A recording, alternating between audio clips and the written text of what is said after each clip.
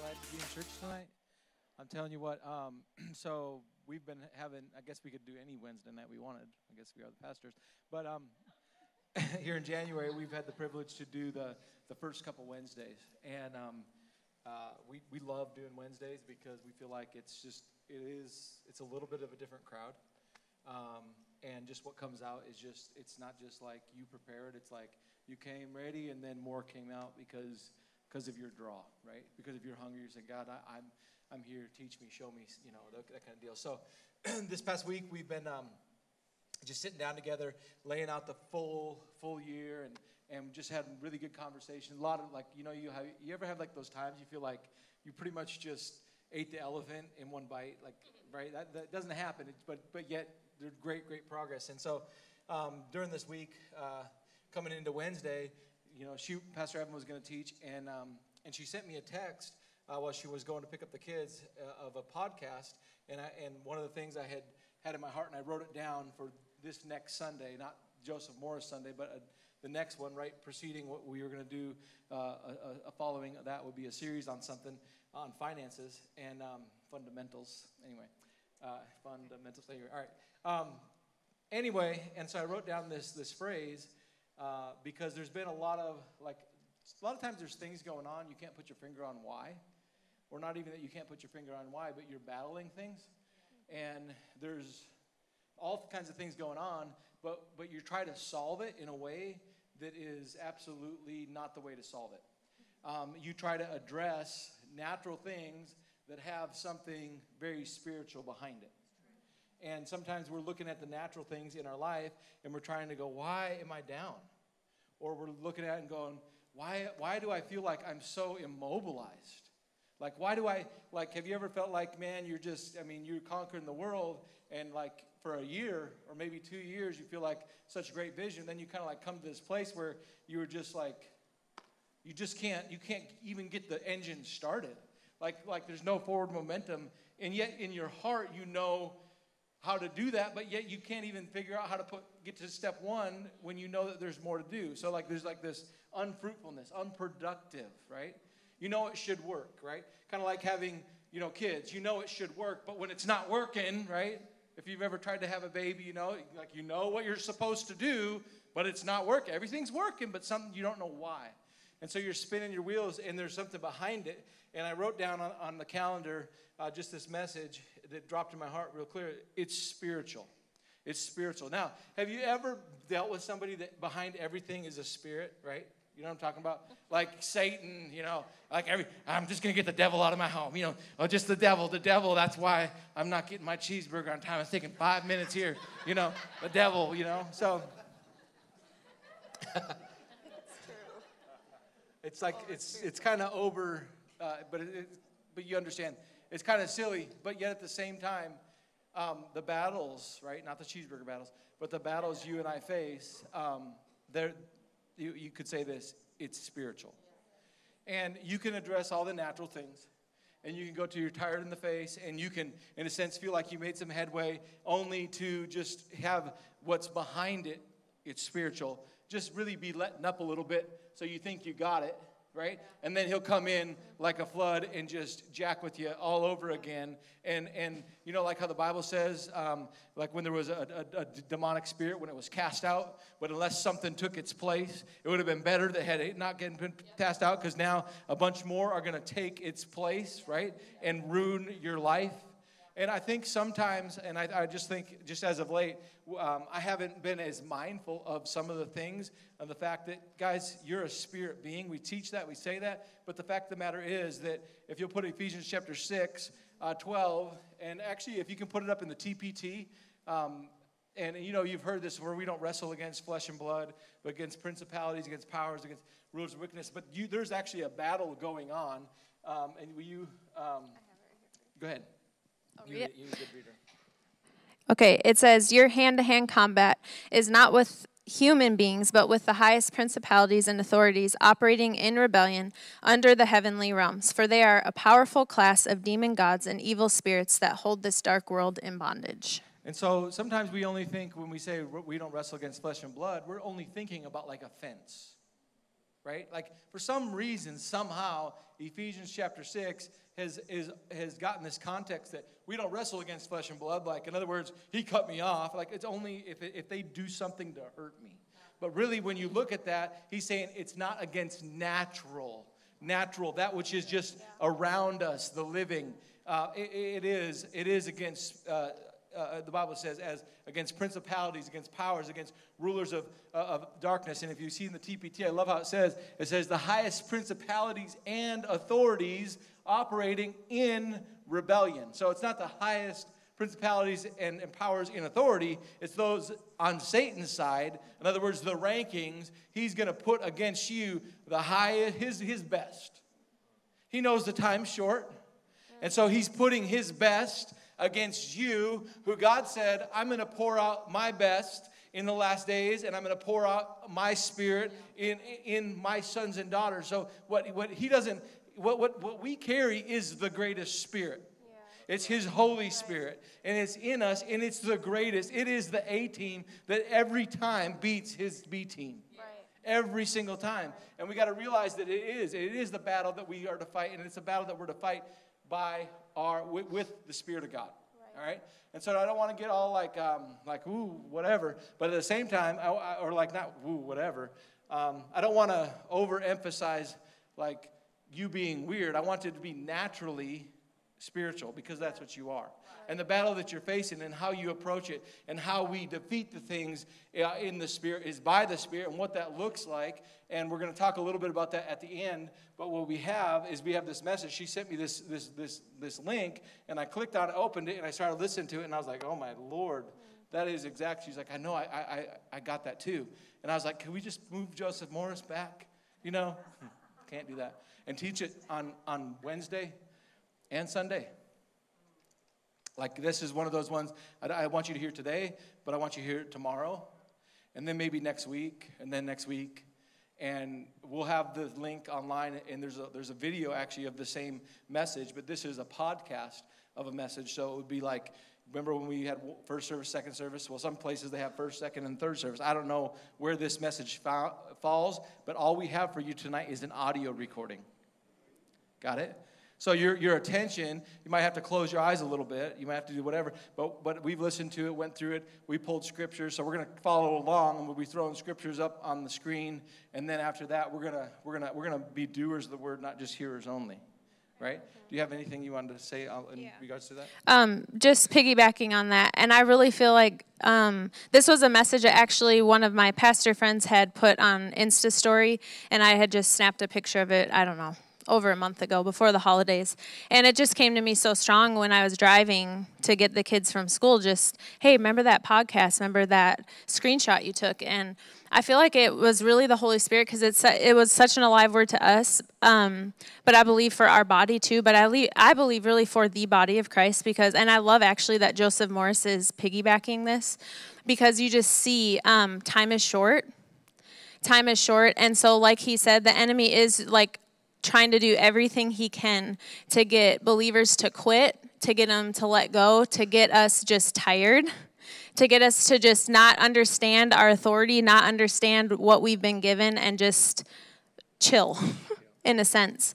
And so I just believe this will stir you, but also just be able to help us recognize when the enemy comes, how to address it, what to do, and how to recognize those thoughts and those key areas that he um, tries to come in. So I just believe it's really, really timely. I think it's extremely significant. And I'm going to set up the, his, this message. I'm saying setting up his message because I don't know if it was in this one or the other one that was the video that I, I, he set it up because one was like an hour and 20 minutes, one was 40 minutes. You're going to listen to the 35 minute one tonight um, just because the other part was announcements or whatever. Anyway, Ephes- not Ephesians, but Revelation, right? So if, we, if I was to say the word Revelation and I was talking about the books of the Bible, you would maybe you would think of two words: the end. Okay? And the Bible says in Revelation that blessed is he that reads this, right? And understands it. And so cool that we got Brother Joseph Morris, I mean, uh, just to come teach this coming weekend and, and these weekdays on, on, along those lines, along with, uh, you know, other parts. But here, this message, it starts, uh, and, and you'll hear him read out of this, Revelation chapter 2.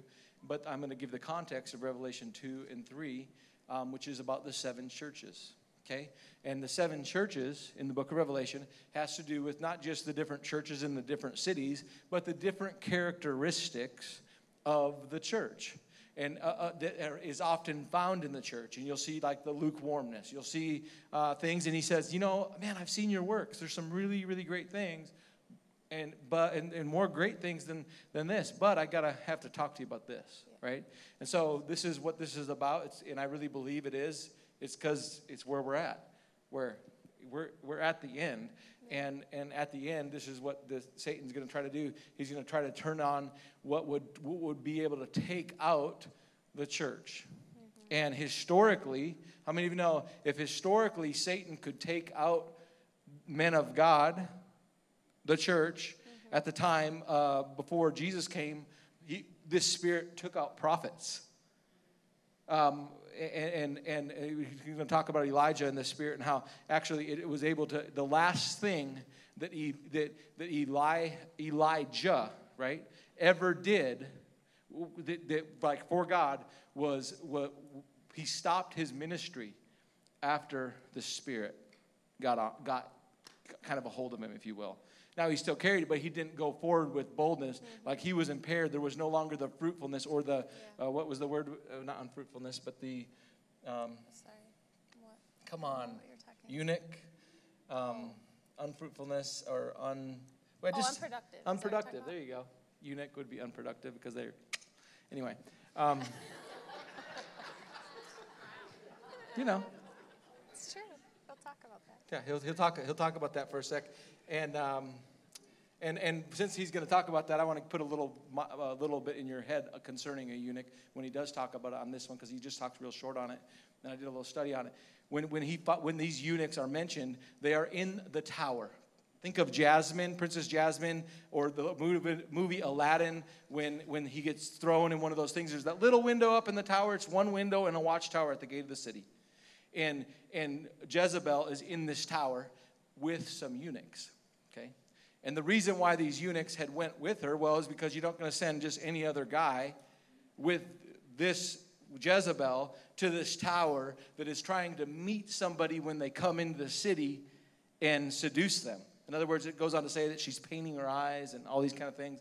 And it's just really interesting how how significant it was that even the eunuchs were placed, what, like what she was trying to do to this other man of God, which is this the, the uh, Jezebel spirit, which he's going to talk about, tries to seduce or get you to let your guard down or manipulate you, right, and catch you. Where could I catch him? And as this man of God, uh, which is uh, not Elijah, not Elisha, but Jehu, who's been anointed now, he comes riding in the same tricks right? The same tricks that the, that the enemy that defeated Elijah, the same tricks that you'll see that defeated John the Baptist, is not going to defeat this man because of the anointing. Mm-hmm. And I'm telling you, it's so good. It's so so awesome. So we're going to listen to this about 35 minutes, and then we're going to we're going to add a couple of things at the end. All right. Get ready. Get your notes out. Revelation chapter two, and I'll begin reading with verse 18. To the angel of the church in Thyatira, write These things says the Son of God, who has eyes like a flame of fire, and his feet are like fine brass. So this is Jesus on the Isle of Patmos appearing to John, and he's giving him direct instructions about the end time. I know your works, your service, your faith, your patience. He's complimenting, he's highlighting the good things they're doing. And as for your works, the last are more than the first. Verse 20 Nevertheless, I have a few things against you because you allow that woman Jezebel, and if you're a woman, relax, it's not that kind of sermon. this is not just talking about the character in the Old Testament by the name of Jezebel, Ahab's wife. This is a spirit. This is a spirit. This is 1800 years after this woman has passed away, and yet Jesus is predicting that the predominant spirit that will come against the church will be a spirit. It's neuter gendered. I've seen men operate under the spirit of Jezebel just as much as women. It's not a, it's not a male or female thing. I'll explain that in just a moment. That woman, Jezebel, who calls herself a prophetess to teach and seduce my servants to commit sexual immorality, to eat things sacrificed to idols. I gave her time to repent of her sexual immorality. The, the King James and original text says fornication. And she did not repent. Indeed, I will cast her into a sick bed, and those who commit adultery with her into great tribulation, unless they repent of their deeds. Thank God for that. He said, I'll give a space of uh, uh, to repent. I call it a space of grace. Just because you keep doing something that you know is not right and you keep getting by with it doesn't mean that God's okay with it. You got a space of grace. Verse 23, this is unbelievable. I will kill her children with death. Who? The, the spirit of Jezebel wants to have children in every new generation, but I will kill her children with death, and the churches shall know that I am He. Listen now, this is so important who searches the minds, everybody say the minds, and the hearts. I am he who's searching the minds and the hearts, and I will give every one of you according to your works. I'm preaching this morning a very different topic, but I promise it relates to your life and it's going to hit you before you leave here right where you need to hear it. This is not bad news, this is good news but I need to do just some solid teaching for the next few moments. I'm preaching on Jezebel's children because what caught my attention was that verse that said, I'll kill her children.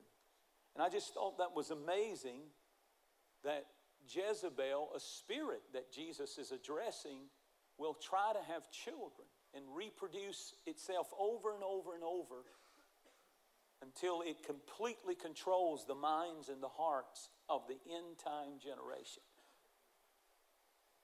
There are seven churches in the book of Revelation, the first three chapters, seven church ages, or seven characteristics. And in each one of those churches, just like this church is different from Saddleback, and Saddleback is different from Mariners Church, and they all are churches that Jesus is in and walking and moving among, and he compliments some things in every one of those churches. He praises something in every one of those churches, and then he confronts and combats some bad things that are in every one of those churches. In the seven churches. And so when we come to the to the uh, church of Thyatira, he lists some good things that they were doing, and then he says, But I have something against you because you're allowing the Jezebel spirit, it's a spirit of Jezebel, in reference to a woman who lived 1800 years ago in 1 Kings 18, 1 Kings 19. Jesus appears on the island and he says, The same spirit that was on that woman and caused her to do what she did is operating big in this end time church. It's the predominant spirit that's coming to wipe out a generation. And Jesus warns, and he says, even though she's been dead 1800 years, her spirit is very much alive in a new generation, and she has children. Children meaning they're small, they start small, they start little, they start in embryonic stage and they want to control. Did you catch it in my text? I, I, I, need you to see that one more time. Guys, throw up verse 23 of Revelation uh, where he said, I will kill her children. And then he goes on and says, and, and it has to do, I search the mind and the heart. So what, what I'm saying is this. It starts out as ch- small thing, an embryonic stage, the mind and if you feed it, if you shelter it, if you keep taking in the uncleanness, if you keep taking in what the spirit of Jezebel is broadcasting and sending the signal out, and you take it in, it grows. Just like a child, if you feed it, if you shelter it, if you nurture it, it grows. It gets bigger and bigger until it controls the mind, it controls the heart, and it turns you away from God. But it starts as a small thing. Don't allow them to dominate your mind and your heart. Jesus was warning the end time church that the enemy would try to oppress the minds. And if he can oppress the minds and control the thinking, then he can turn the heart away from God. Jezebel's children will be the spirit that will attack families, marriages, men, women, young people, children. A spirit that has certain characteristics that this woman in 1 Kings 18 and 19 that lived 1800 years ago, Jesus said, the same characteristics that you see in her is what will begin to manifest and broadcast signals that will begin to dominate people's lives. What were they? Well, first of all, we know that Jezebel in the Old Testament, the wife of King Ahab, the king of Israel, she began to manipulate him. She began to use him and use her influence over him to completely turn his heart away from God. We preach a lot about Ahab, but Ahab at one time totally loved God, but she began to broadcast a signal and influence over him. And one of the things that the spirit of Jezebel is about strongly is manipulation. There's a difference between manipulation and motivation. Motivation is for our good but manipulation is for my good. Jezebel tried to manipulate leadership for her good, and she was very, very successful at it. Secondly, we see that the spirit of Jezebel manifests itself according to the book of Revelation, and we see it in the Old Testament. Jezebel was exceedingly sexually immoral. Listen to me carefully. She was a married woman with an unmarried spirit. And there's a lot of people today who are being affected by the spirit of Jezebel and they don't even know it. They're married, but they have an unmarried spirit. They, they have a non commitment, a non covenant um, spirit concerning their walk with God. They come to church, they say, I'm part of the church, I'm married, but I have an unmarried spirit. I'm really not going to get involved in anything. It's not going to really alter my life. And many people treat the Lord that way. And so she was a married woman with an unmarried spirit, meaning she was a seducer, she was sexually immoral, she was unfaithful. She had the attitude, I don't have to keep my marriage vows. I don't have to be faithful.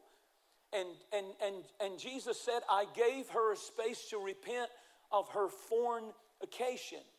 The word fornication comes from the Greek word porneia, from which we get the word pornography. Now, this is astounding. I want you to listen to me carefully. Jesus Christ Himself appeared to John and He said, I'm going to tell you the dominant spirit that's coming after the minds and the hearts of the end time generation, I'm going to be so specific that I'm going to name it. Number one, it's Jezebel, but the way Jezebel will reach the minds and hearts of a generation is through pornography.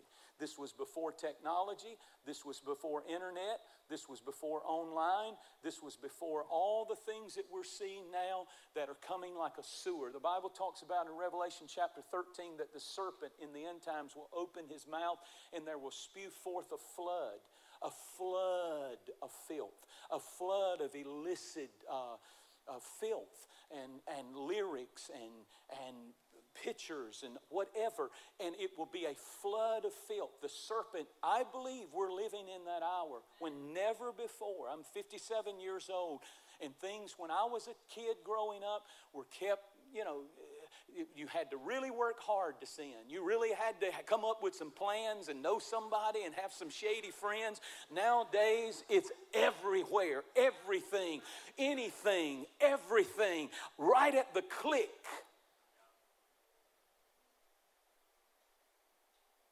I gave her a space to repent of her fornication, porneia, pornography, but she would not. Jesus said, I'm going to name it. And it's, notice, it's so, the word of God is so amazing that it's, he said, this spirit's number one goal is to get the reins of the mind and the heart and turn it away from God. The Jezebel spirit, interestingly, runs concurrent with the spirit of Elijah. Because when Jezebel was doing her thing, Elijah comes along, the great prophet Elijah. And there is a prophecy in Malachi that said, in the end time, just as the spirit of Jezebel is reborn and has children, and that thing begins to take over a whole culture and society, at the same time the spirit of Jezebel is coming on the world and the society and the culture, the spirit of Elijah is going to come on the church. The spirit of Elijah that called down fire from heaven, and ours may not be physical fire, but we're going to call down the fire of the Holy Spirit in these days. What was, what was Elijah like? He was a man of passion, the Bible said.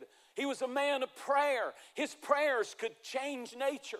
His prayers could cause the rain to come. His prayers could cause poison stew to be edible. He had power in his prayer. And the spirit of Jezebel is a spirit that hates prayer. The Bible said in 1 Kings 18 that one of the things she did was she tore down the altars in the temple and did not want prayer anymore, forbid the prophets to pray. And when they didn't obey her, she killed them all except for a hundred. And when she couldn't find the hundred that that were hiding in a cave, the Bible said she slew their children and their wives. Jezebel's a spirit that says, if I can't get the prophet, I won't stop there. I'm going to put a target on his children. I'm going to put a target on his wife. I hate the man of God. I hate the anointing of God. And that's why we better pray for our leaders. That's why we better not play church, but we better realize our number one weapon against the spirit of Jezebel is intercessors, people who pray, a church that prays. And, and it's not natural things that are tearing your altar down. And I, look, I'm not here to preach preach bad news. This is good news, but sometimes you don't just need to be blessed, you need to be blistered. And every once in a while, you need your toes to bleed when you leave church. And if you're not praying, I got news for you. There's a dominant spirit that's broadcasting signals lust, manipulation.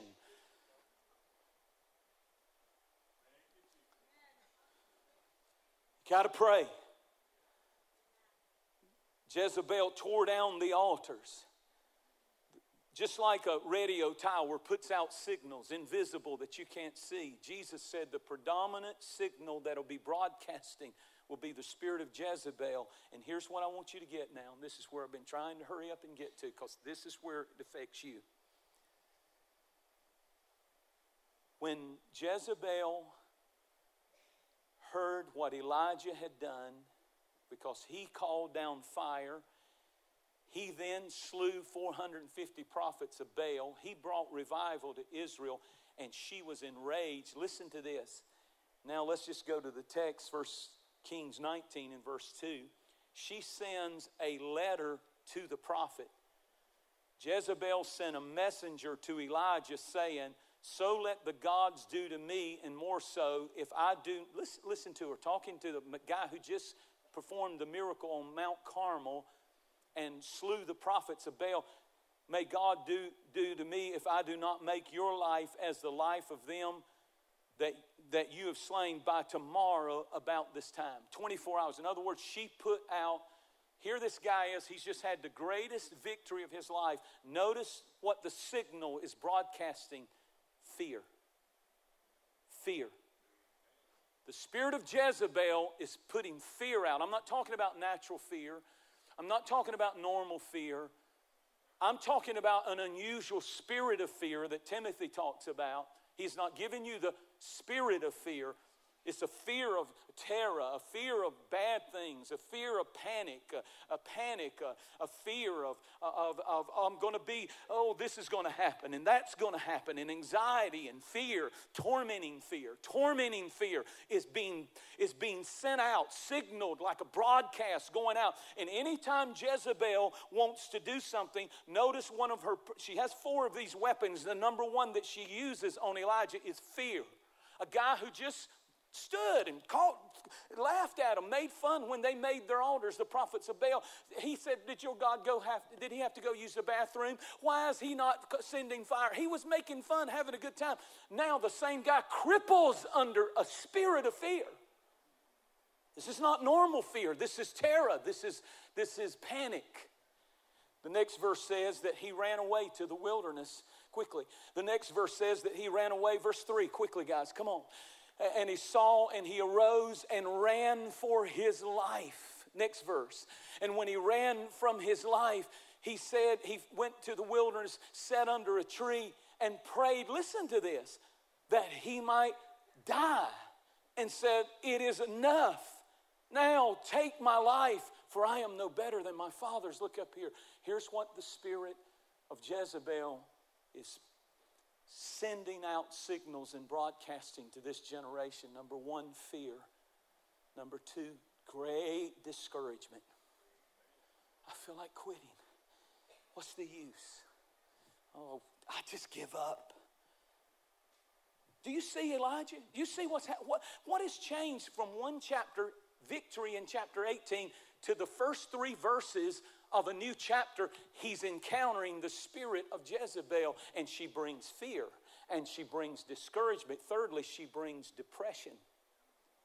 Such severe depression that you sit alone under a tree and pray that God will take your life. Just let me die. Hmm. Boy, I wrestled for somebody over this sermon because somebody has been sitting in the darkness of your life alone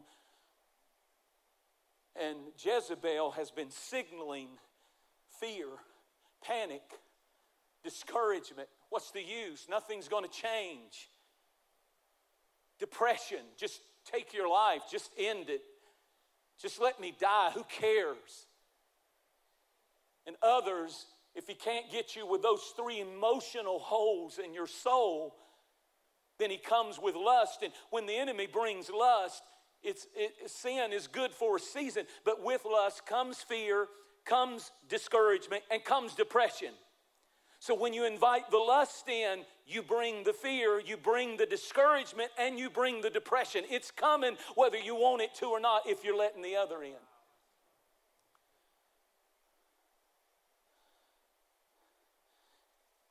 And those four things lust, fear, discouragement, depression how does he do it?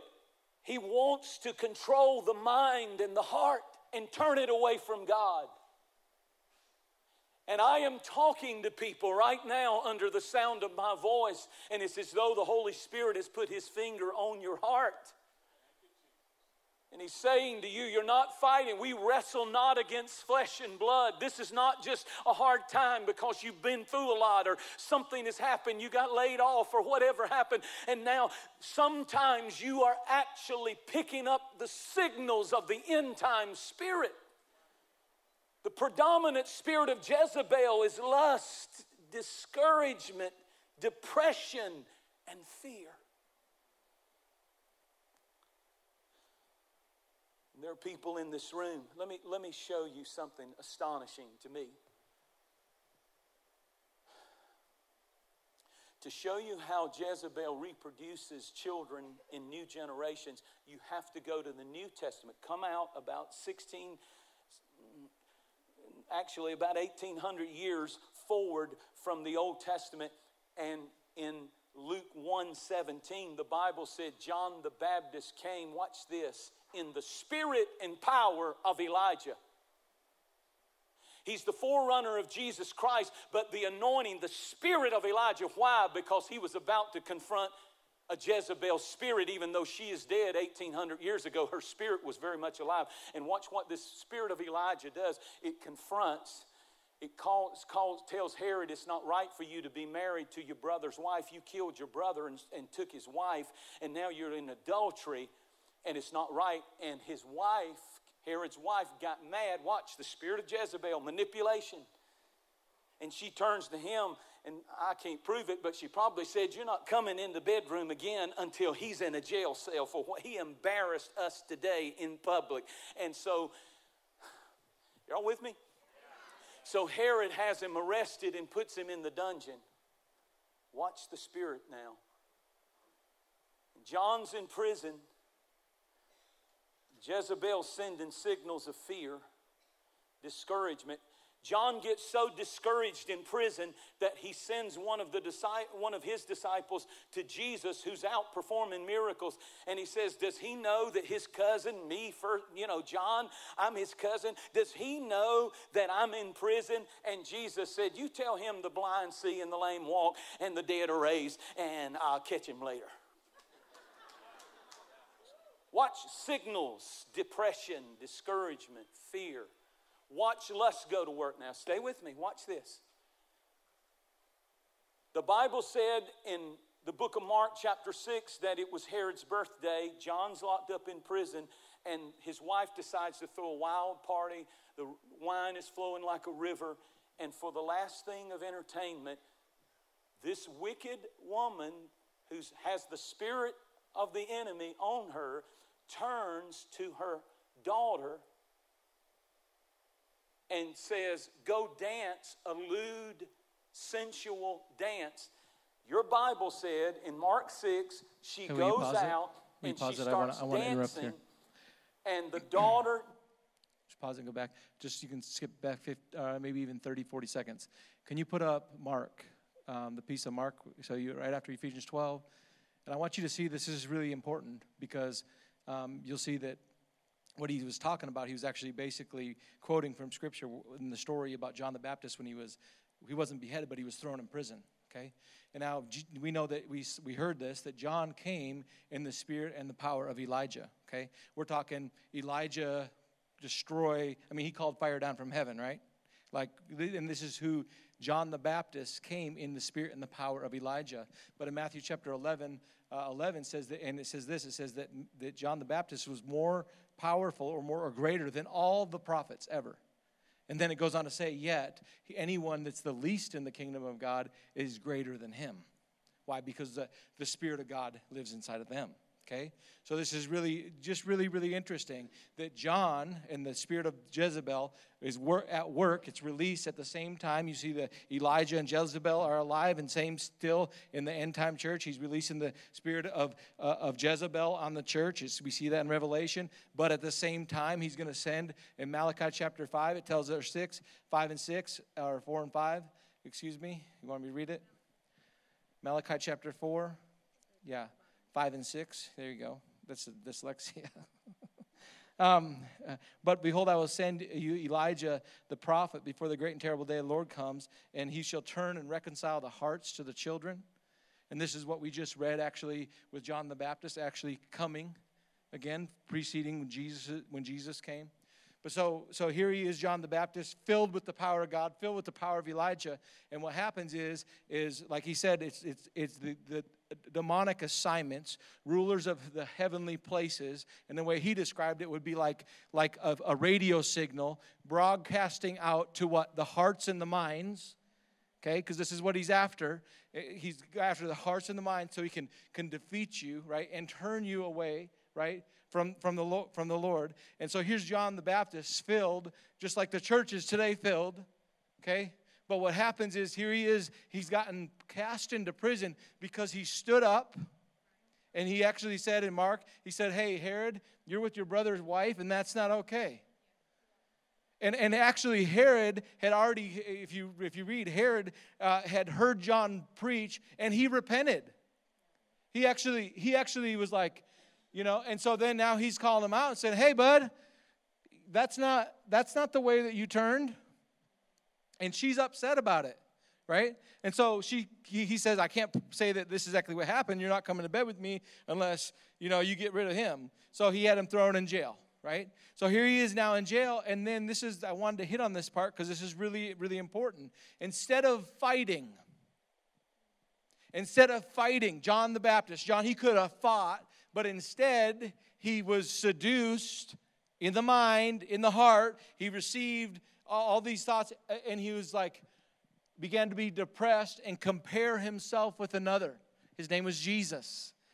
Remember that? And he said, "Well," and he says, "Go, go find out about Jesus. Tell him I'm, uh, tell him how bad I am, or tell how poor of a state I am." He begins to get depressed. He begins to think, "Woe is me," and all these kind of things. And so he's not fighting. And he's not fighting. And Jesus says, Listen, everything that you fought for, let me come and give you a word of encouragement, not a slap in the face. All of us, a lot of us were like, ha, yeah, the blame block, the blind, da, da. He came to prepare the way of the Lord, and it finally happened when Jesus said, The Spirit of the Lord is upon me because he has anointed me to preach the gospel, set the captive free. All of his life, they were born in tandem, basically right? Just, just a little bit before, but basically in tandem. And for 30 years, John the Baptist was a voice of one crying in the wilderness, preparing the way of the Lord. And, and, and Jesus hadn't been able to, to, to do what he was sent to do until, until the Spirit of God rested upon him, not just in him, so he could be the witness, set the captive free, cause the lame to walk, all this kind of stuff. And John the Baptist is in, is in prison. And the, what he sends back to him is this the lame walk, the blind see, the deaf hear. Not like, deuces, I'm, I'm out. Sorry, bud. No, that wasn't that. That was what you fought for. Listen, listen, what you fought for, there, it wasn't just a fight. That, your faith didn't just fight, your faith won. Your faith, what you, what you preached, won. There's victory in, in your word. There's victory in your prayer. There's victory in what you've been crying for all along. There's victory. Don't lay down on me now. Don't, don't stop fighting now. And it goes on and go to the. I want you to put uh, put. A, I want to follow along with where he's at. We'll pick back up, and we're in. He's not giving you the references. He's just reading out of it. So that's why I left my computer up there discouragement, fear. Watch lust go to work now. Stay with me. Watch this. The Bible said in the book of Mark, chapter 6, that it was Herod's birthday. John's locked up in prison, and his wife decides to throw a wild party. The wine is flowing like a river. And for the last thing of entertainment, this wicked woman who has the spirit of the enemy on her turns to her daughter and says, Go dance a lewd, sensual dance. Your Bible said in Mark 6, she goes out and she starts dancing, and the daughter danced and pleased Herod and those who sat with him. I don't know what move she was doing. I don't know what in the world, how it had to be. It had to be vulgar. It had to be unbelievably sensual because when it was over, Herod said, Give her half the kingdom. If you read the next verse, he said, What do you want from me? I'll give it to you up to half the kingdom. Watch the Spirit. She says, Let me go ask my mother. And she goes in a back room and says, Should I ask for a Mercedes Benz chariot? What, what, what should I, should I ask for a palace on the, on the beach? What, what, I, I mean, half the kingdom, there's no price tag here. We can have anything we want, mother. And watch the spirit of Jezebel possess her. And she says, I don't want any of that. I want that prophet's head on a platter. And the children, and they got it, the children overcame the prophetic. But that spirit had children in a new generation.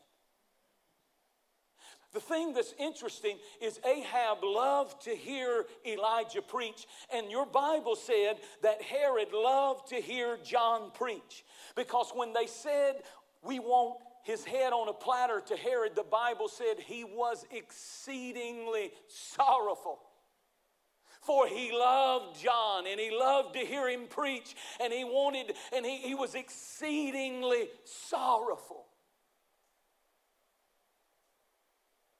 The spirit of Jezebel will come on people in the end time church and they will enjoy good preaching, but they have made up their mind I'm not going to change. And the way that you know the spirit of Jezebel is working is you can hear a preacher preach plain and be pricked in your heart and feel conviction and enjoy a spark of life. I really believe that when Herod was feeling low after the party and the, and the things were wearing off and he was empty and he had it all but he had nothing, he would go down and sit in that prison and say, John, tell me a Bible story. Tell me, preach to me. And he'd feel a spark of life. Your Bible says that Elijah preached to Herod Herod and he repented to him. But he would go back and get under that broadcast signal of Jezebel. mind, heart turned away from God.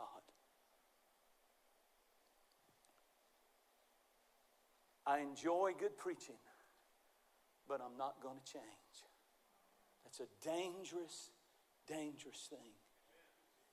This spirit brings lust, fear, discouragement, depression.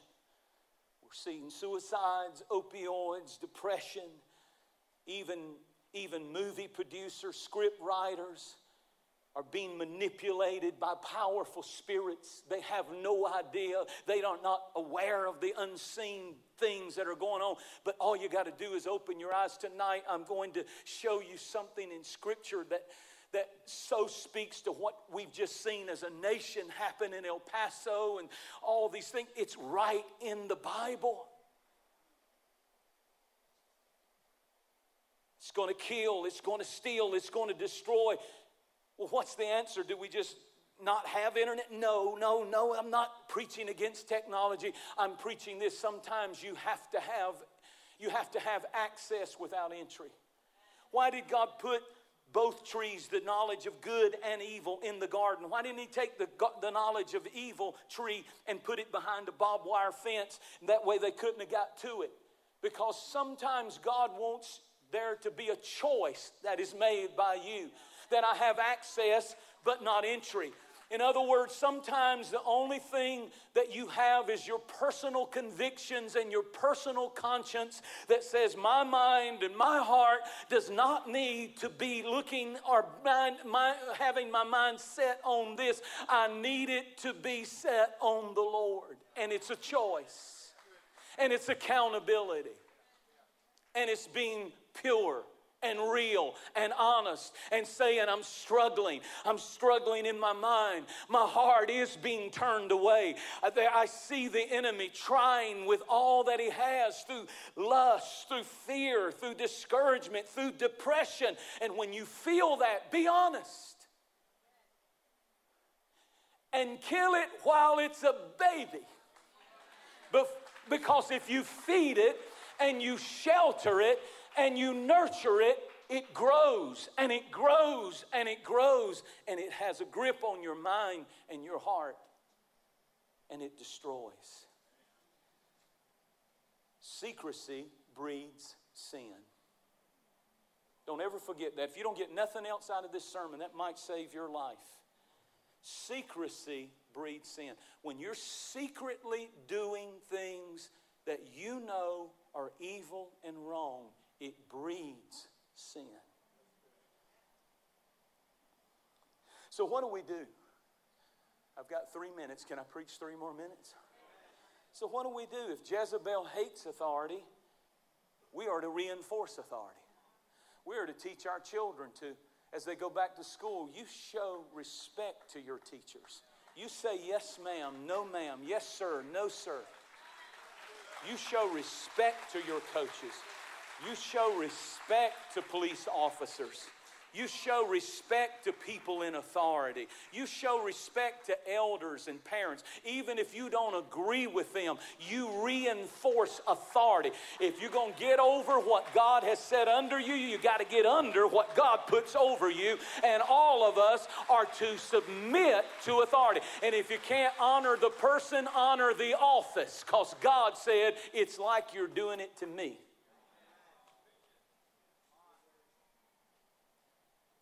So here's how the story ends with Jezebel. In 2 Kings chapter 9, there is a man, Elijah goes up in a fiery chariot. Elisha comes along he does double the miracles. And then he's ready to pass the baton and he goes to a guy by the name of Jehu. And he pours a box of oil on him. And he says, The Lord said, Go to the city and confront Jezebel. Now, I want you to see this. He goes to the city, and the Bible said Jezebel was up in her palace, and she stepped out on the balcony, and she was painting her face and braiding her hair. And up rides this preacher on a horse. He's dripping with the anointing. He's a young voice, he's a new generation Praise God. There's going to be a new generation. If, if, there's, if there's a heavy attack of the spirit of Jezebel, there's going to be a new generation that's going to come under the anointing of the spirit of Elijah. And he rides right up and he sees her up there. And she starts broadcasting. I'm sure she looked at him. She might have had one of those biblical dresses, lo and behold. She probably bent over and tried to, let's see if the signal of lust can get this preacher boy. But he's sanctified, he's set apart, he's called and consecrated. He says, I'm not receiving that. My mind, my heart belongs to Jesus. So she probably calls for her army to surround him. Fear tries to come. He's freshly anointed. And the anointing, Isaiah 10 breaks, said, Isaiah 10 said, the anointing breaks the yoke. All you got to do to get free from any of this is get under an anointing. The anointing breaks the yoke. Right here, right now, I feel the anointing. Well, that sounds like a mighty powerful spirit, preacher. Nah. You ought to see what's in you and in me. The Holy Spirit is more powerful than any Jezebel spirit can anything it can produce. She tries to send out the signal on the broadcast of lust. It doesn't work. She sends, and by the way, it's not like you ever reach a place in your walk that you are not tempted and that you're not normal. I can't stand fakey Christians. Yes, I've been sanctified and I never ever think about any. You are a liar. That's what you are. You need to, you might have got free from something else. Now you picked up a lying spirit. It's stupid to pray not to be tempted. What a dumb prayer. He didn't say don't pray that you're tempted. That's not a biblical prayer. Jesus said pray that you enter not into temptation. Many times when I pray, I pray the prayer of Jabez, uh, uh, you know, uh, bless me indeed and enlarge my territory. Let your hand be on me. But the biggest part, keep me from evil. Keep me from evil.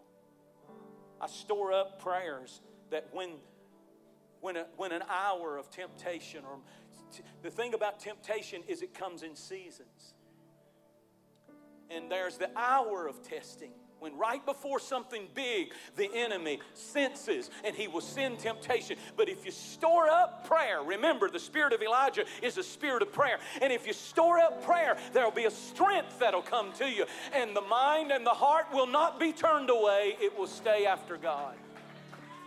Thy word have I hid in my heart that I would not sin against thee. Now, watch this. Surrounding Jezebel were three eunuchs. A eunuch was men, servants who had been castrated by the king so he could feel confident they wouldn't flirt with his bride.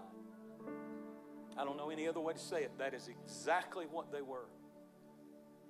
Notice that surrounding the spirit of Jezebel, listen carefully. Surrounding the spirit of Jezebel is a non productive spirit the stuff that you used to could do and you could produce, if you start hanging out with that spirit of porn, that spirit of lust, that spirit of fear, discouragement, and depression, suddenly the productivity, the reproducing of success, the things that you used to do, it dries it up. There's a non productive, anti revival spirit all around her because anybody who gets close to her loses revival and loses the ability to be productive. It's a matter of time. He gives you a space to repent. Now, listen to this. Listen to this. Jehu looked up with a fresh anointing and she was sending her greatest signals, but it could not pierce the anointing that was on him. And he said, Is there anybody up there on the Lord's side? And all of a sudden, those three eunuchs said, I've about had enough of this. And he said, Watch this throw her out the window throw her down and they threw her down, and some of her blood splattered on the wall and on the horses. Watch! And he trampled her underfoot. I'm saying to the spirit of lust, the spirit of fear, the spirit of discouragement, the spirit of depression and suicide and quitting and giving up and bondage and addiction and secrecy and shame. We are going to. Um, all those things, and we we felt so strong that just um, yielding and just realizing that the, the battle that you're in is spiritual.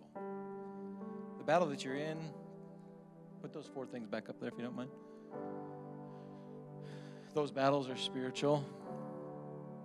And even even coming to church, we know it's spiritual, but did you know, like he said, how you can come and you can get that feel good?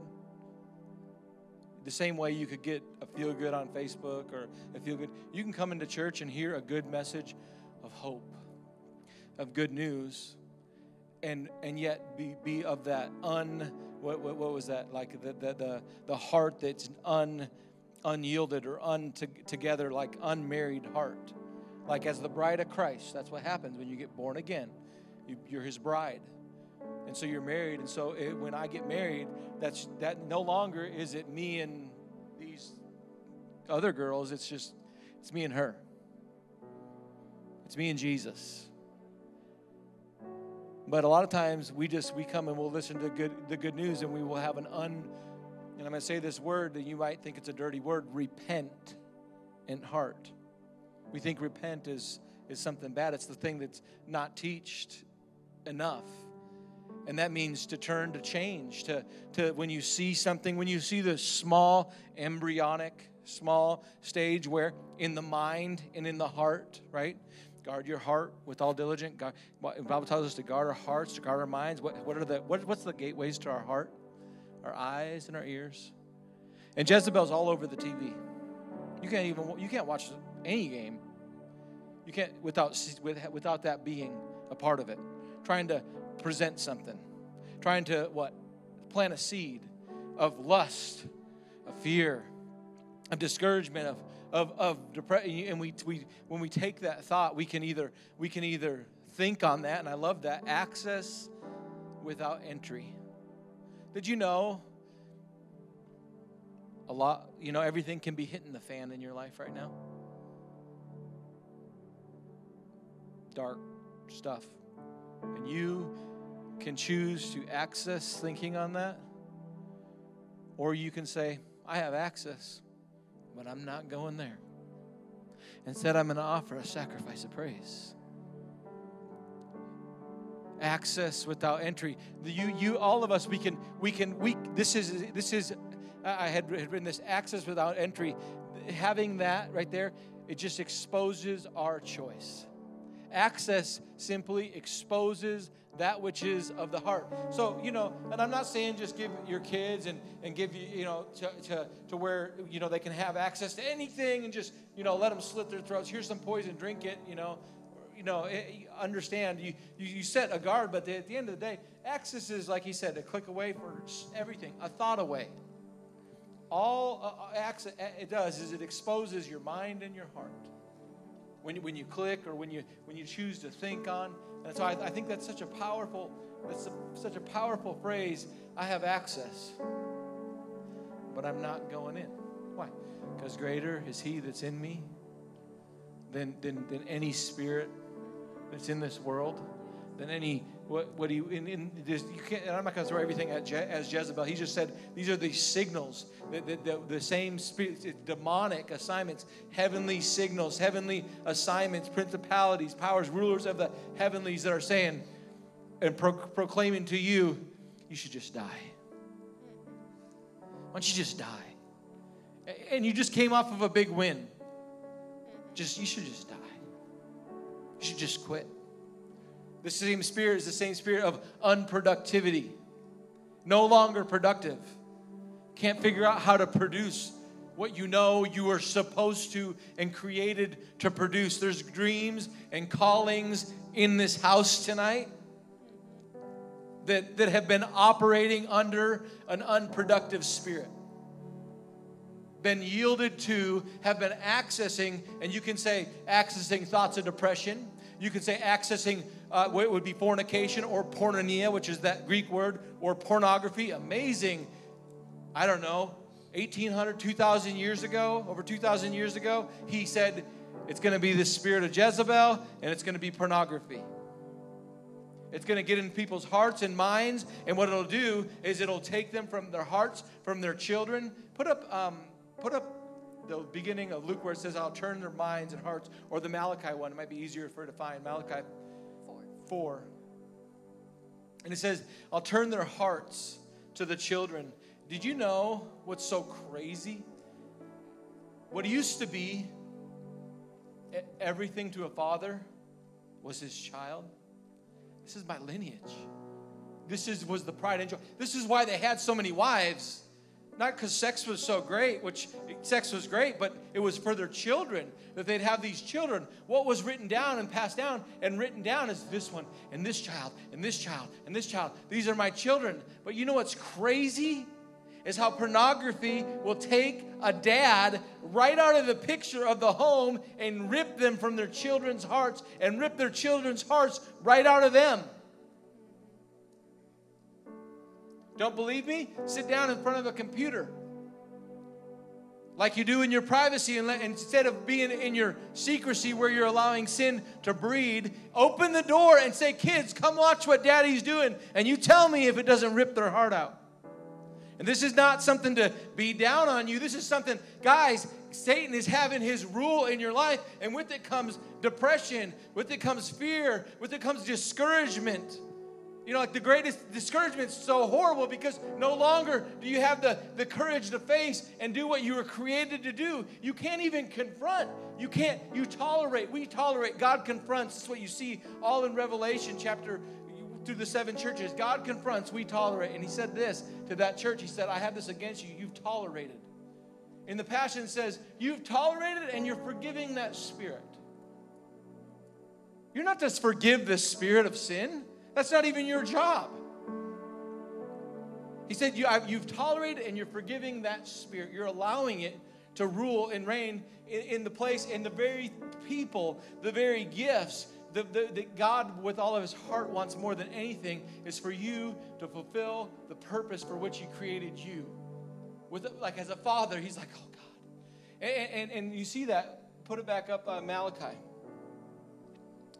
And the spirit of Elijah, it'll defeat those things. It'll turn the hearts of the father not to a woman, not to some other thing to get something else, something like I got to have something more, but back to the children back to pouring into the children, the hearts of the parents to their children. I'm saying parents because let's just. I, I don't. I, I, can't comprehend it, but but but this is the, the stats that it's almost almost as much pornography is in the with the females today as it is with the males. I think this has to do with the, the equality and the push of Satan and, and no identity and not knowing who you are and what, you, what God created you to be and, and this twist because you're not equal to a man, but you are just as valuable. You're not equal as in the same. We're different, but we're just as valuable, just as priceless, just as I need. I need her to be a, a, a woman, and I need. I need to be. I need her to want me to be a man. And he goes on and says, and turns the parents. This is the spirit of Elijah. Go, uh, go back one verse. And I will send the prophet Elijah to you before the great and de- dreadful, like before the end. Like before, like, wow. Fearful day, one, uh, tra- translation is like, wow. I'm going to send you the spirit. Like back in the churches, back in the churches where Jesus said, hey, I'm operating in this spirit. It's upon me. Like the mantle's upon me when he tells John the Baptist, he says, It's about me. And, and he goes to this next verse, and I'll turn their hearts of the parents to children, and hearts of the children to their parents. That's, a, that's awesome. We're not see the, the same way when dad turns, kids turn. When, when listen, when dad turns, when mom turns, kids turn. Same way. Well, I just wish my kids would just turn your hearts to them. Let go of the lust. Ah, I just, it's spiritual. It's spiritual. You can't just try. What do you do? You cry out to God for help. When, when, when, when, you, when you sense something, you be honest with the Lord. It, it's just, you talk with Him. What did Jezebel tear down? The altar. Why? Because if you were to define altar, the definition of altar is simply a meeting place with the spirit realm. The altar. You know, there's altars, satanic altars. There's all kinds of altars, but the altar, an altar is simply a meeting place. Where are you to meet with God? Where does He meet with you? In prayer. Where is it? Is, is prayer just, just here? I'm talking about taking the altars out of the churches. I'm talking about taking the altar, in a sense, out of your heart where no longer are you yielded to, to the altar of your heart when God says, and you hear a message, He says, Sacrifice that to me. You hear a good word? You hear a good word? He says, Sacrifice that to me. Lay that down. Lay that down. Turn from that. Repent. We go. Man, that was a good word today. We just keep on going. We don't we don't enter that conversation. We don't cry out and say, God, I've tried. I need your help. God, I'm willing. God, I'm willing. God, I'm willing. God, I'm willing. Like just being honest with Him instead of just hiding, walking out the door and hiding it again and continuing out the way. He's trying, Satan wants to tear you from the meeting place where you would meet with him because if you don't sacrifice it to the Lord, what will happen is the accuser will come, guaranteed, and he'll say, "Hey, hey, you didn't sacrifice, you, you didn't give that to the Lord. You're." He'll talk to you about that, and you know what you won't do? You won't talk to him. And you'll go through the week without, without entering in the conversations that you're supposed to have and being led by Him because, well, I'm, I'm, I'm just not. And what happens is, is the altar's tore down, and the altar's tore down, and the altar's tore down. And, and, and he, Jezebel tore down not just the altars, but she killed the prophets of God over a hundred prophets, or all but, but a hundred. And when they went to look for her, those prophets, she couldn't find those hundred prophets because they were hiding in the mountains. And she said, Kill their children. Kill their children and their wives. Because guess what? If, if Jezebel can't get the, the man of God, he's going to try to go for their wives and their children.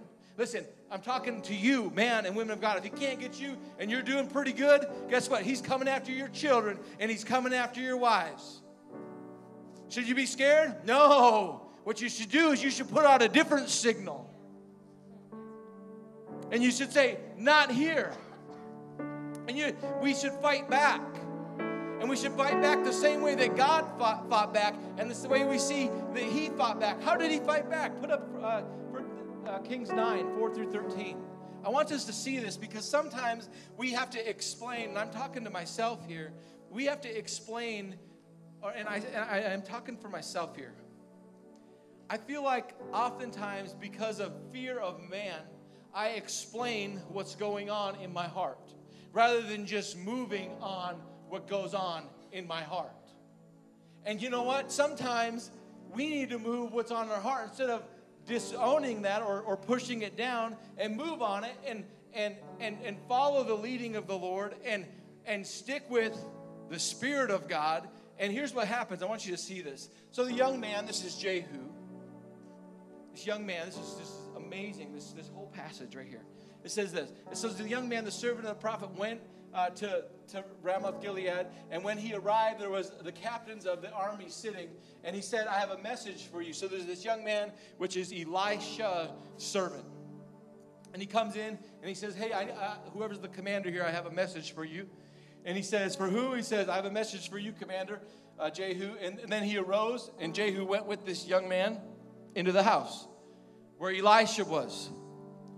And, and, and it says, And he poured the oil on his head and said to him, Now, I'm going to do something that I had seen of my seen myself doing. I didn't know what I, I saw it on a table, but I'm going to do it.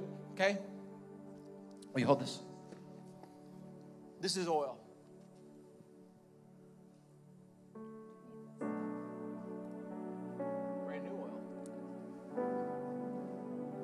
So here's what he did he took the oil and he did this. No, he took the oil and, he poured the oil out.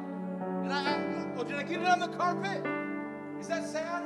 And we're so worried about where we get the oil. Like, I want to just go, shh, not onto you, but just thinking the Holy Spirit. We're so afraid of where we put the oil. It might get on your clothes. Get that out? I sure hope not. I sure hope not. We're so afraid of where we put the oil.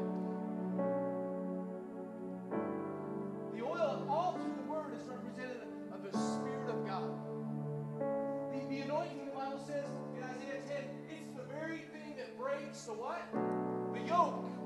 How many people in here under the yoke of slavery, Isaiah 58, where it says, Is this not the fast that I've chosen to break the bonds, to loose the bonds of wickedness, and to destroy the yoke? This fast simply means this this separation. The fast, separating from this to this. Because there's something about a separation. The anointing oil was simply to separate somebody unto a ministry, to separate themselves from the yoke uh, or that which was holding them, and separate them. The oil, the, the Spirit of God. Is this not the fast? Is this the, the anointing oil? The oil? I'm not saying that this is the oil, I'm saying the Spirit of God is the oil. And we need to not be so afraid to where he's at. He, here's, here's, I, I don't want any yokes on me.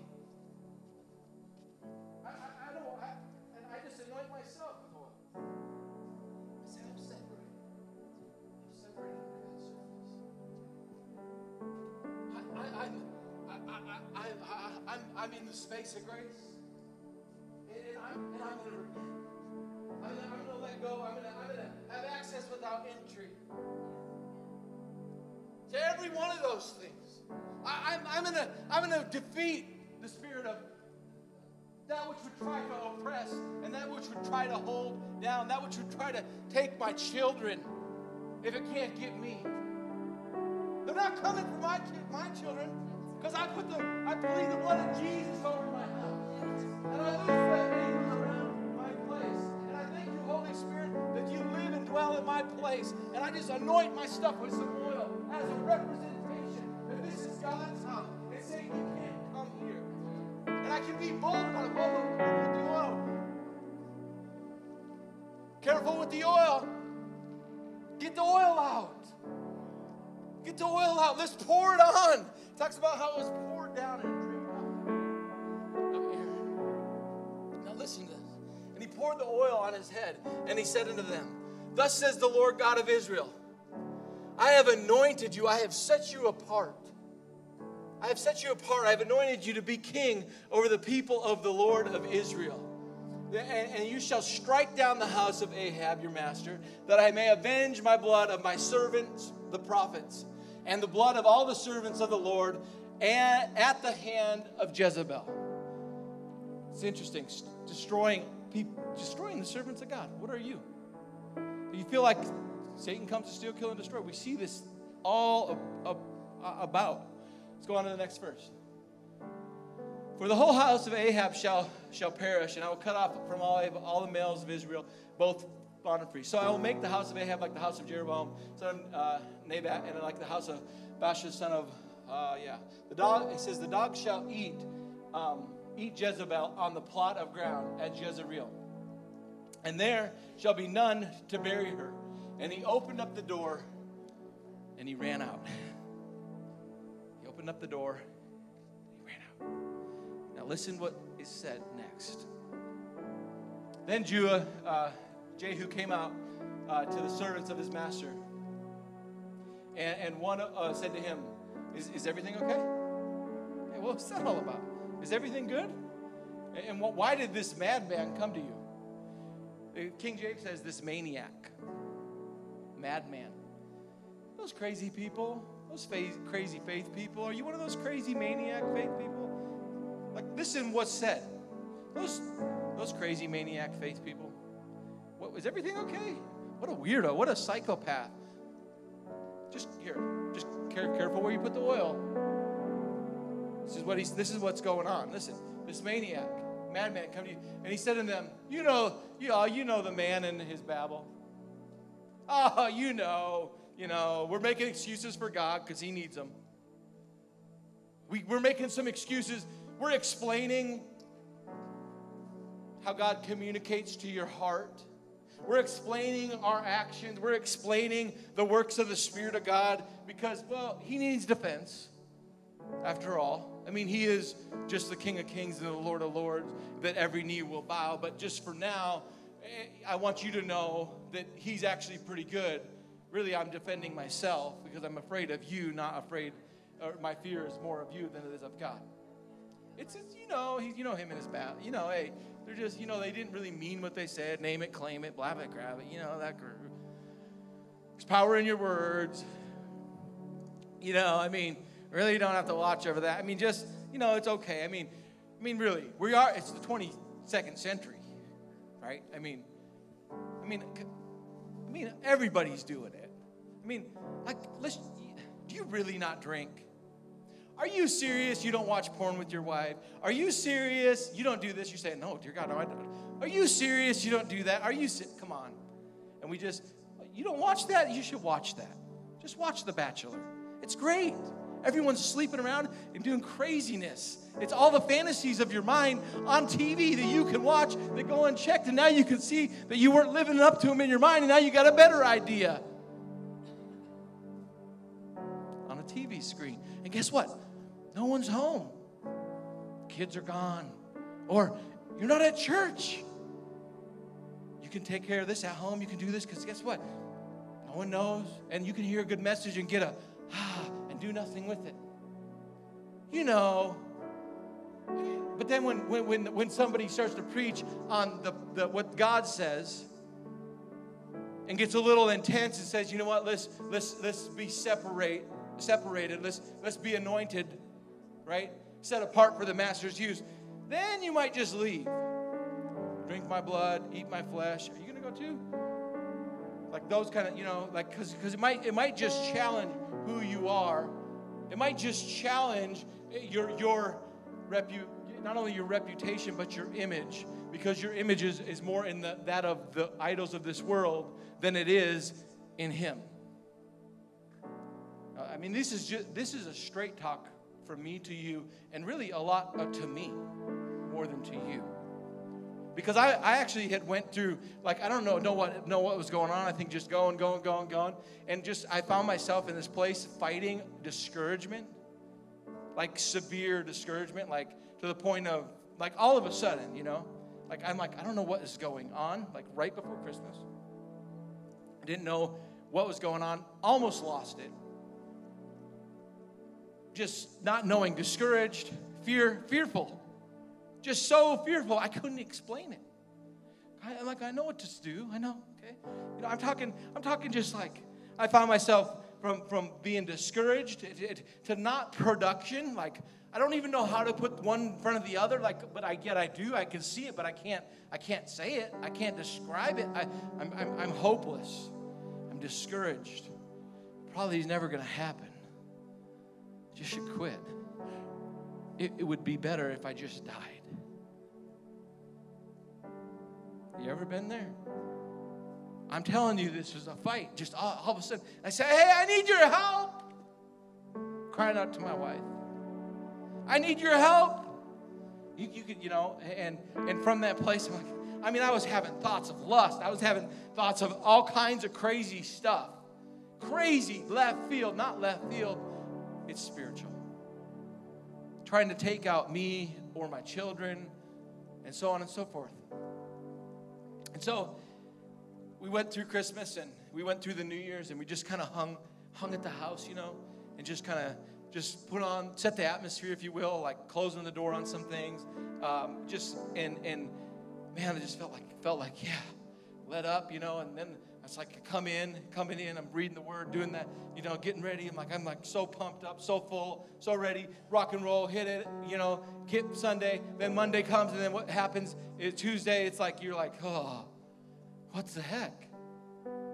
You know, like just you feel like you get hit hard again. So okay, all right, you know, like hey, you know, say you know. And anyway, went into next Sunday, which was this last Sunday, and I'm just sharing my testimony, okay? And I know there's time constraints and all that kind of stuff. I'm sorry. And I come into this Sunday, and man, man, God just, I just felt His presence, anointing, all of that. Changed the message, didn't go with anything went to, and just like He was up there, just as I say all the time, and the Lord stood next to me and gave me the words to minister, so that through me, His message would be fully proclaimed. 2 Timothy 4:17.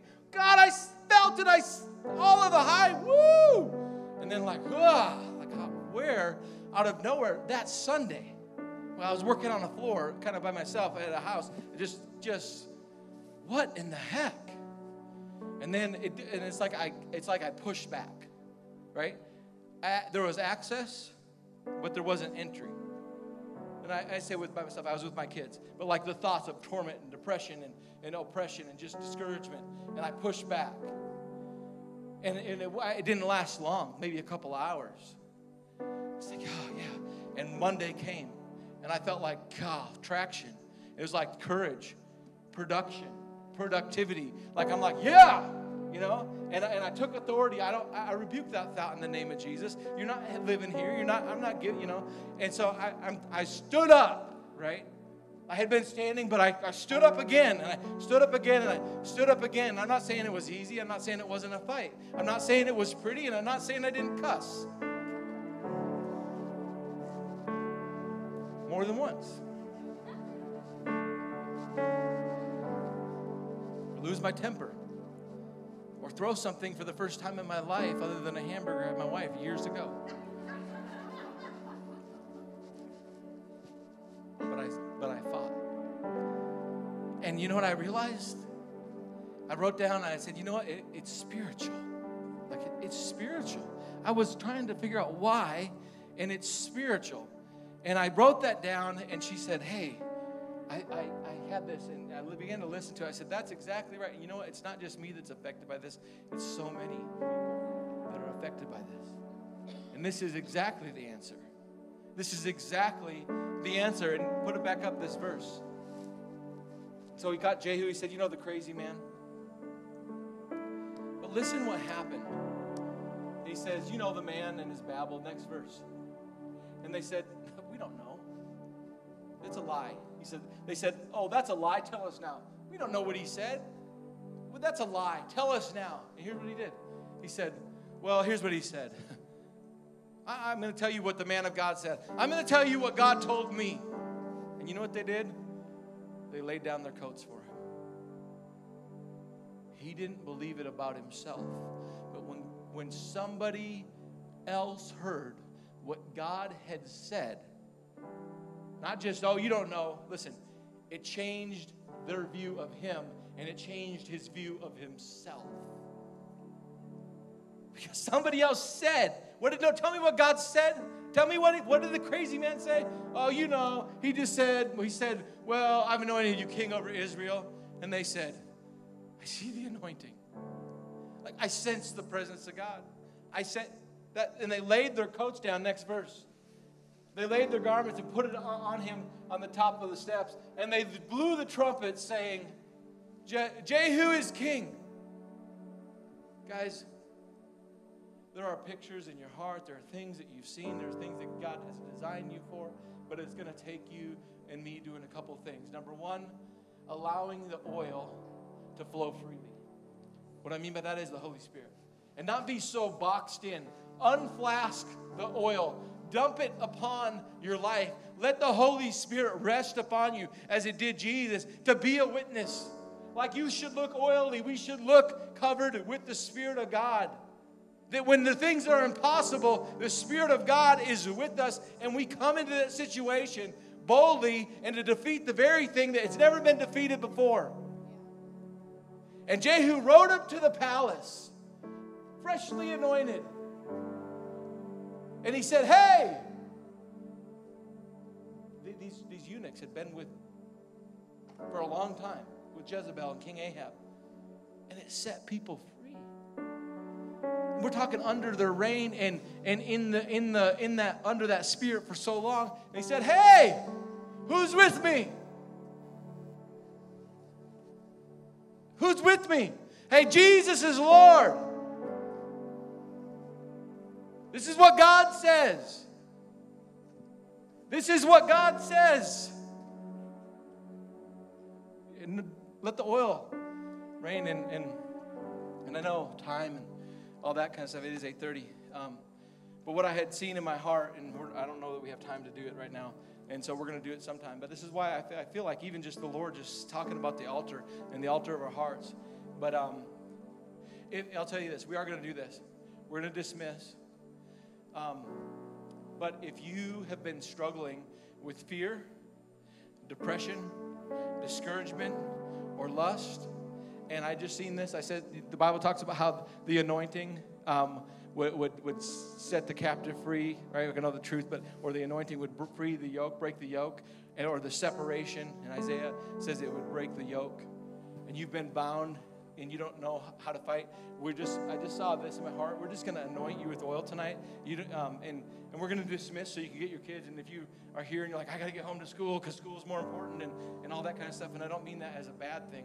I'm saying I am not going to go out without doing what it was in my heart because that is also the same thing. It's a manipulative spirit, which would be you guys are afraid, or I'm afraid of you because kids, in school. Yet at the same thing, we got a daggum basketball game and it's nine o'clock and we're out there on a daggum weeknight and four or five nights a week we're at school and we're out there late and we're going to a ball game. We're running all over God's creation for a, a daggum basketball. And the very thing, it's the King of Kings, the Lord of Lords, and what would actually free our life. And we're looking at the clock the whole time. And if it goes into overtime, instead of being excited that it's God's another part of the game that's good, and I can't. Could you see that game? We're like, Dear God, would He shut up? And we shut out the very thing, the anointing that would set us free and set our children free and allow the children that Jezebel's trying to produce in our lives to destroy our children. It would kill them, but instead we go. Like if it goes into overtime, if you're praying for your pastor and whoever God would put it, and you find out that God set you in a church, then you say, God, go overtime. If not for me, for someone today. Today I pray on Sunday morning, go overtime. Do something in our midst that's uh, indescribable you. And when somebody hears about it, they bow and throw their garments down, everything else off, and say, God, and then I just pray that we would come in the spirit of Elijah and that the blind would see and the deaf would hear and the lame would walk because we serve a great God. We serve a great God and we shouldn't be bound. We can't be bound anymore because you are the ones that God has sent to do what? To set the captive free, to preach recovery of sight to the blind, to proclaim this is God's year of favor. Favor is here because Jesus paid the price. So God's favor is all upon you. And that's what we're going to do before we're going to close and dismiss. And we're going to dismiss. If you got to go, I just don't want you to, to hold you. I understand. I, I totally, it's not a condemnation thing. But I'm not quitting yet. I'm not stopping yet because I know that there's some people that are here. You didn't even know you were coming for this tonight, but God knew you'd be here. And somebody was fighting for you the same way he was somebody was fighting for me because it is prayers. It is prayers that, that are being listen, there are people that have prayed for you that you and I have know nothing about because God's faithful. Because he, he knew that he, he wasn't going to allow you to enter something that you couldn't come out of. He said, I want to allow them to be tempted beyond what they're able. I will not allow them. That's why you're here. So if you're here tonight, and, and Pastor Evan and I had, had seen this in our heart, if you're here tonight, maybe it's just something that you need to just go to the altar of your heart and say, God, honest, honestly, Lord, I'm struggling with pornography or addiction or the, or you, maybe it's in the embryonic stage, depression and fear and discouragement. You got to just be honest. Maybe you got to do that. But if you if you know, if you know you've been battling what the what we're talking about here, and you want just say, you know what, partner with me, Holy Spirit. I'm today, I'm making a, a, declaration, anoint me, separate me. I'm destroying that. I'm going to that. And I say, no more, not in my house, not in my children. Not, then we just want to, to take a, moment and, and anoint you with oil before you go. Um, and it, it, it's scriptural. I don't understand 99% of what's in I believe it. And I see it, and I see when I'm a doer of the word, I see what he says. And so, even the Bible talks about how the prayer of faith would heal the sick, or the prayer of faith. There's something about the prayer of faith. You know what a prayer of faith is? A prayer of faith is praying what God has asked you to pray. Prayer of faith is doing what do, acting by faith is doing what God has told you to do. Did you know all of this book is God's words, but all of that book doesn't contain all of God's words? Because there's a lot of God's words that'll tell you about don't take that contract. Or they'll tell you, hey, that's not the girl. Or they'll tell you, hey, you should be marrying somebody else. Or I'm not talking to you, individual, all of you guys, okay? But they'll tell you, hey, don't go to school there. They'll tell you, hey, hold up, don't buy that car. Because I don't see anything about not buying that F 150 and instead get that Toyota. But I'm telling you, the Holy God is speaking all the time. And he'll speak things to your heart and he'll and you can walk by faith if you'll listen to what he says and instead of leaning back to our understanding after it comes, walk by it. And this is why I'm doing this tonight. We're anointing with oil and I don't care what it looks like or what you think or anything like that. We're going to do it and you're going to be set free. We're partnering with you. God's partnering with you we're, we're, we're, we're going to be liberal with it, you know, not, you know, not like that liberal, but just space of grace. Space of grace. Listen, there is a space of grace. I've been getting away with it. You're in the space of grace. But you read the word. What does he say? And so, um, if, you, if that's you, you've been fighting any of these things, you want to say something?